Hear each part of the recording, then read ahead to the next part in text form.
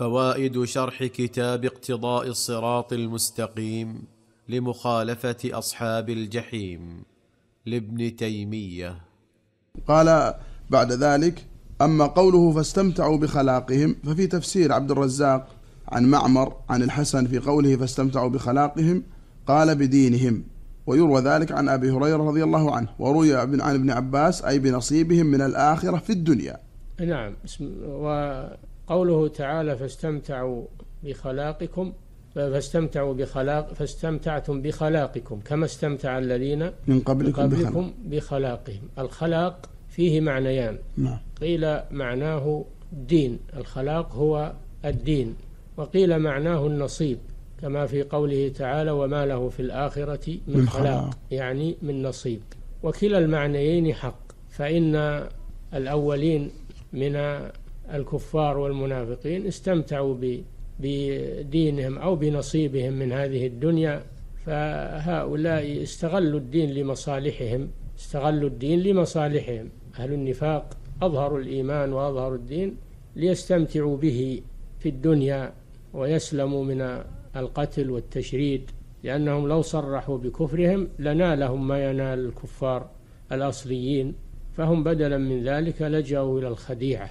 لأجل أن يستمتعوا بهذا بهذه الخديعة. نعم. والنصيب كذلك. فالدين هو النصيب. الدين هو نصيب الإنسان من الدنيا والآخرة. المعنيان لا يتغيران نعم. قال والآية تعم ما ذكره العلماء جميعهم. إيه نعم. جميعهم. الذين قالوا إنه الدين والذين قالوا إنه النصيب. فالآية تعمه. وأن الكفار والمنافقون الأولون استمتعوا بدينهم أو بنصيبهم في هذه الدنيا فهؤلاء المنافقون مثلهم استمتعوا بخلاقهم ونصيبهم ودينهم في هذه الدنيا. نعم. وذكر قوله تعالى ما له في الآخرة من خلاق. وقول النبي صلى الله عليه وسلم إنما يلبس الحرير من لا خلاق له في الآخرة. يعني نصيب. نعم. قال فإن والآية تعم ما ذكره العلماء جميعهم فإن الله سبحانه قال كانوا أشد منكم قوة وأكثر أموالا وأولادا.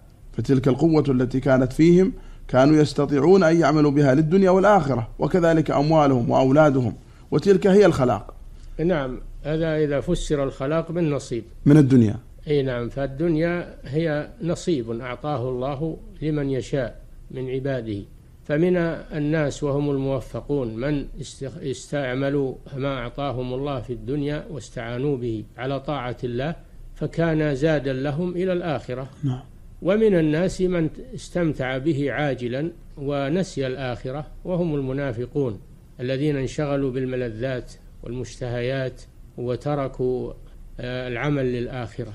فالاستمتاع على قسمين استمتاع حسن واستمتاع سيء. نعم. استمتاع الحسن الذي يستعين بما أعطاه الله من الدنيا على عمل الآخرة والاستمتاع السيء هو الذي يستمتع به عاجلا وينسى الآخرة. نعم. قال فاستمتعوا بقوتهم وأموالهم وأولادهم في الدنيا ونفس الأعمال التي عملوها بهذه القوة والأموال. هي دينهم. وتلك الأعمال لو أرادوا بها الله والدار الآخرة لكان لهم ثواب في الآخرة عليها. نعم فهؤلاء قصر نظرهم على الدنيا فنالوا الدنيا ولكن الدنيا فانية. نعم. وأما المؤمنون فإنهم نظروا إلى الآخرة فاستعانوا بقوتهم وما أعطاهم الله من المال استعانوا به على الأعمال الصالحة فكان نصيبهم في الدنيا والآخرة لهم مستمرا.